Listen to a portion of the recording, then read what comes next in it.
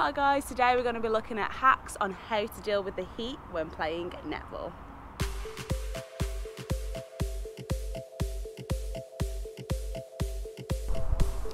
Okay, so first thing is to get yourself some uh, dryer sheets, tumble dryer sheets, and you can just put these in your bag. Smells lovely put it in your bag and for all your sweaty clothes and all the smells coming from your trainers. It will absorb the smell and it will freshen up your bag as well. So just get one of these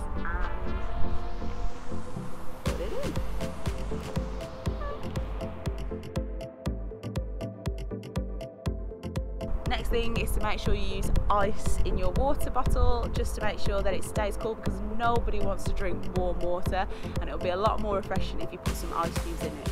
If the nozzle is really thin on your water bottle then put a little bit of water in the bottle, put it horizontally in the fridge freezer and let it freeze overnight and then you've got a, a perfect ice cube in that water bottle ready for the next day.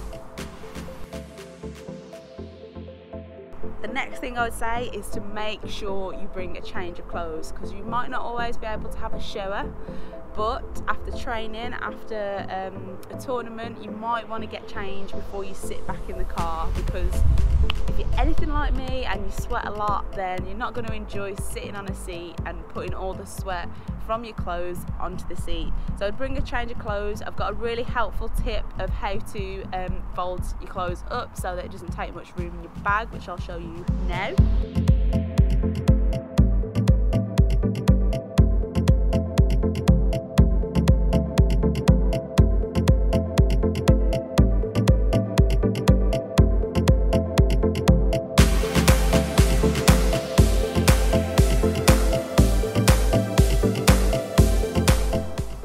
Go you've got a nice easy package to put in your bag that doesn't take up much room and you can change after a sweaty session so that you're not getting all the seats sweaty in the car and you don't have to sit there in your own sweat on your journey home.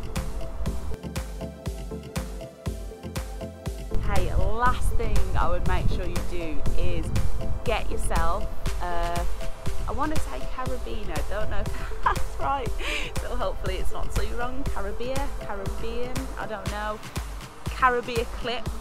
Um, they're just like the little clips that you see uh, on rock climbing and stuff. Um, and you want to put hair bubbles on it so that you've got hair bubbles during your session because there's nothing worse than doing your session and your hair bubble breaks or your hair's a bit loose and then you've got sweaty hair stuck to your face Nobody wants that. So get yourself a Caribbean clip, put some bubbles on it. I'll show you how. So one of these clips that you can just clip onto your bag, put all your bubbles on it. You can take it off, get, get a bubble out. Done.